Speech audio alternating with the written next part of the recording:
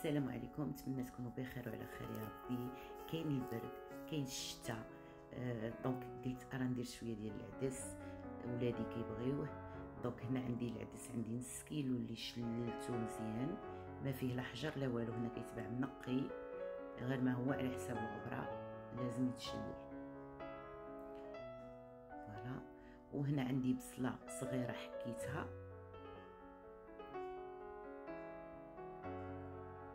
ومن بعد معلقة كبيرة ديال القزبر ومعدنوس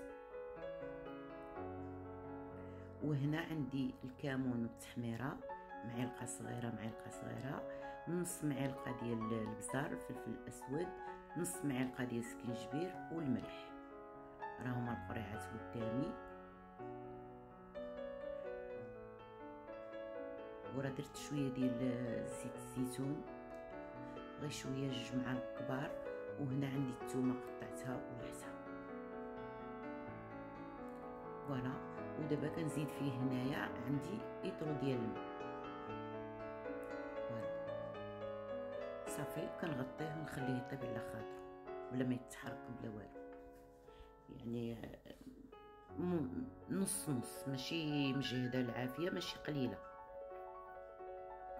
من بعد من تنشوفو بحال طاب تندير فيه واحد شوية ديال مطيشه الحك اللي دايراهم أنا في كونجيلاتور كيبقاو.